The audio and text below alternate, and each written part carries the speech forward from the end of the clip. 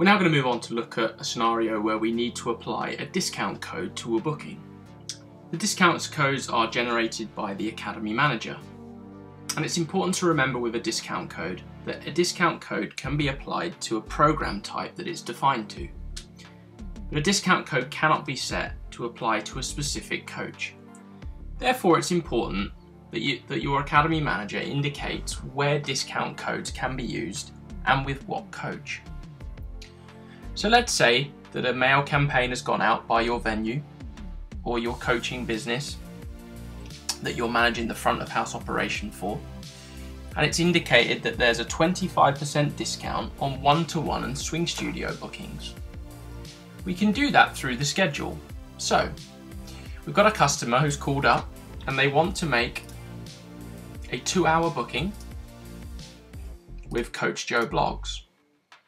We've indicated that the next availability for a two hour lesson is Monday at 5 o'clock. And they want to proceed with the booking. So we're going to go ahead and hit book now. And the lesson isn't going to be in the studio. The customer already has an account, so we're going to go ahead and find the customer. And we're going to select the customer and then hit book now. However, we now need to apply the discount code. We're going to select the payment option as Pay at Academy. The customer is going to pay the final balance to the coach directly.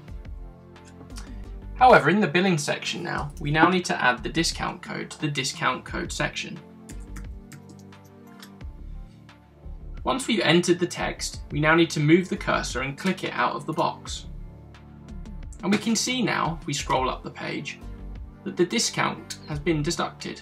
25% has been discounted from the original lesson price of £100, meaning the total lesson cost is 75 We can now go ahead and process the order by hitting book now.